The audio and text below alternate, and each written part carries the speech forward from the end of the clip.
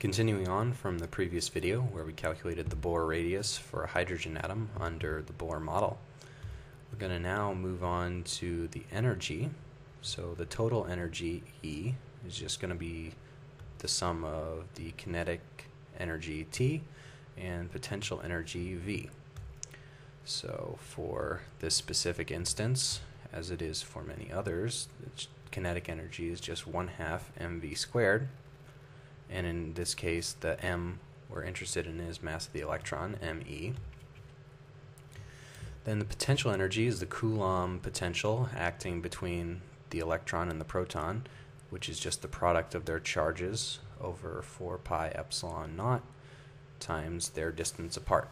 It's negative because they have opposite signs on their charges, therefore positive times a negative is going to give you a negative. And we know what the radius is from the previous video. We calculated that. Um, there are some quantities here which we don't know, but we can get from other methods. So we had in the previous video an equation which made the forces acting on the electron equal out. So one force acting on it is a Coulomb force pulling it in. Its attraction to the proton, which follows Coulomb's law there and the other is a centrifugal force trying to pull it away, trying to make it not rotate in a rotating reference frame.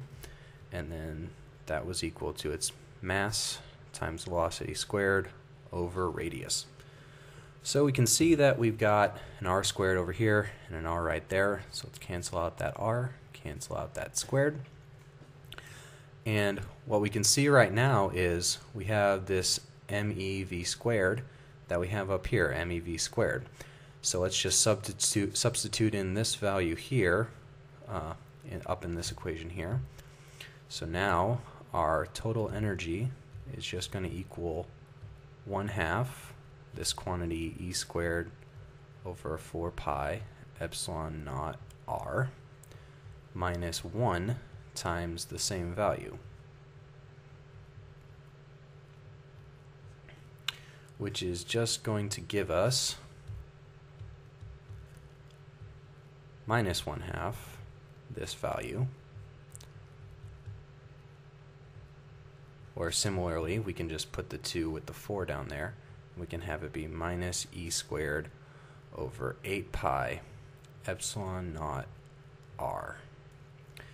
Okay, so now we have the Bohr radius, which we'll remind ourselves from the previous video what that value was in terms of physical constants. Let's look down here. We have that that was 4 pi epsilon naught squared h bar squared n squared over mass of the electron squared times charge of the electron squared. And remember, n is just an integer which has a value which is greater than 0. So the lowest value can be as 1, and it can be any value larger than 1. So let's flip that around. So 1 over r is going to be me e squared over 4 pi epsilon naught h bar squared n squared. So substituting this in up there, we're going to have E equals the same things we have e squared over 8 pi epsilon naught then multiplied times the 1 over r part me e squared over 4 pi epsilon naught h bar squared n squared. so the final expression we're going to get is that. Dividing a line here, E equals minus ME e to the fourth over 8 times 4 is going to be 32 pi squared epsilon naught squared h bar squared. This these are all constants or physical constants times 1 over n squared, where n is just indicating the different energy levels which are available to us. So what this means is if you want to calculate the energy levels of a hydrogen atom, you have 0, which is just a reference value for a proton and an, and an electron infinitely far apart. This value is negative, so it's an attractive energy. You gain energy by bringing the proton and electron closer to each other. There's going to be some lowest value where n equals 1, where the energy is a minimum.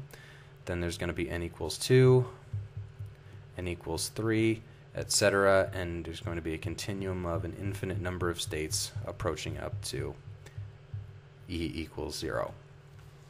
So those are the energy levels we get um, based off of this, based off of the quantization that Bohr required by hypothesizing that angular momentum must be quantized.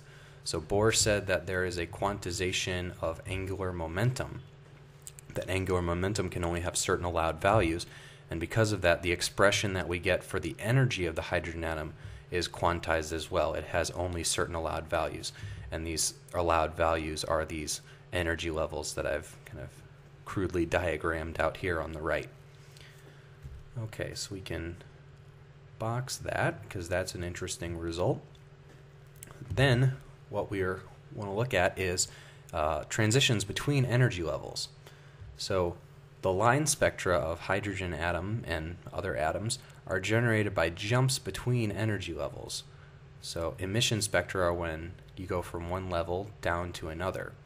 So for example, this, this, these would all be different. These are all different changes in energy, which would show up as different frequencies or wavelengths on a spectrum and would give you the line spectra that you would see because only certain values in energy changes are allowed because only certain values in energy are allowed. So if we calculate the delta E, the change in energy between any two levels, Bohr said that this has to be equal to the energy of the photon that Einstein said has a certain energy, h nu. A single photon has the energy h nu, and that when this energy change occurs, a photon is emitted with the same energy. So the change in the energy levels has to be equal to Planck's constant times the frequency of that photon. And that's just going to be the difference between any of these two energy levels. So you'll have some constant out in front over 32 pi squared epsilon naught squared h bar squared. And then you'll have the difference of two energy levels, 1 over n1 squared minus 1 over n2 squared.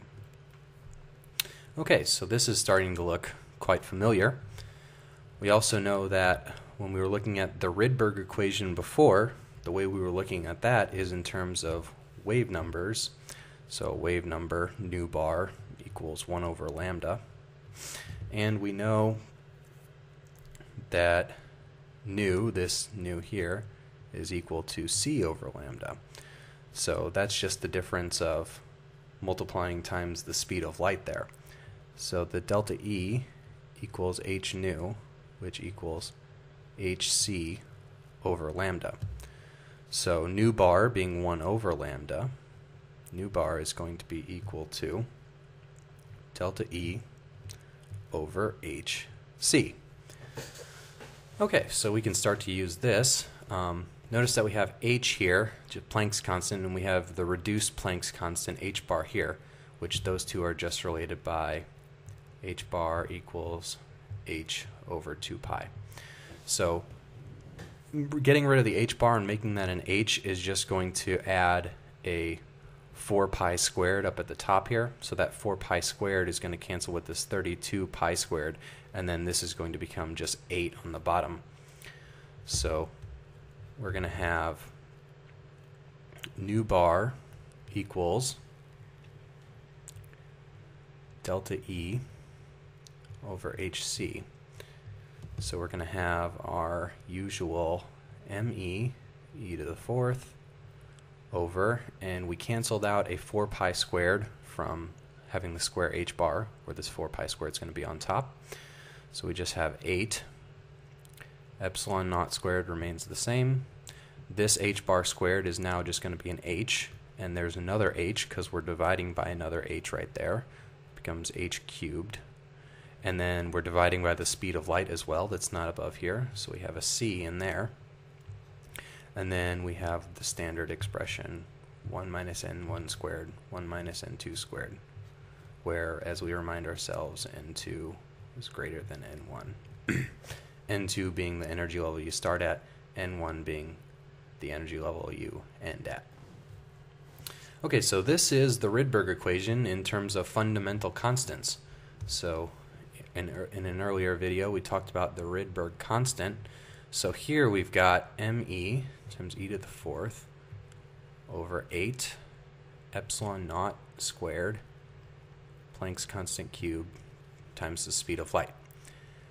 And that value, if we uh, actually calculate it out, which I'm not going to do, I'll let you carry that out on your own, equals 109,737 wave numbers. And that is in comparison to the experimental result, which is 109,676. So you see that that's within about 0.5% of experiment. And that's an incredibly accurate result given that we did not actually solve what we'll eventually see as the full quantum mechanical uh, equations for this system. This is just a, a hypothesis that angular momentum should be quantized and following what the math that falls out from there. And we get a value for the Rydberg constant, which is got you know two decimal places which are dead on, and the third isn't that bad. But we can do even better. So here we have the mass of the electron for the mass, but we in fact know that for the electron proton system, it's not really, the proton isn't really stationary.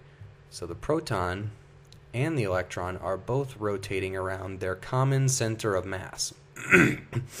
so the, the electron weighs much, much less than the proton by about a factor of 2,000. So the proton moves very little, but it doesn't move, it isn't completely stationary.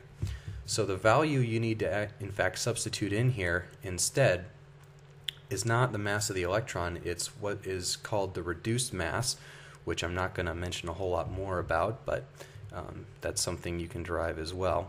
The reduced mass is defined as for the mass of the electron times the mass of the proton over mass of the electron plus mass of the proton.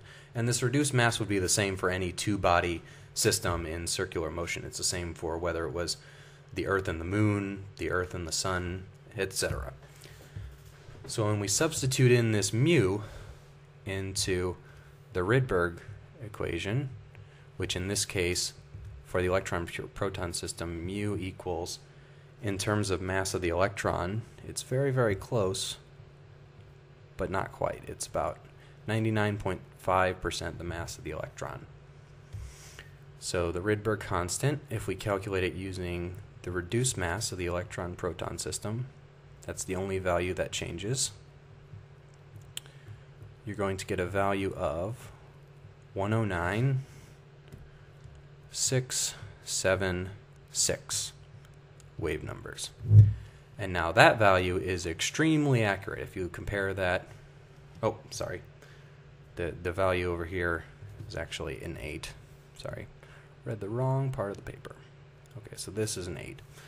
But still, that's a correspondence of 5 digits. So this value is extremely, extremely accurate, and that's within 0.002% error. So basically, Bohr had this hypothesis that angular momentum is quantized in the hydrogen atom, and then following the following the consequences of that idea leads you to a value of the Rydberg constant, which is pretty much dead on with experiment. So this is definitely a very very insightful model, and is really getting to the heart of what's important about the behavior of very small quantum systems.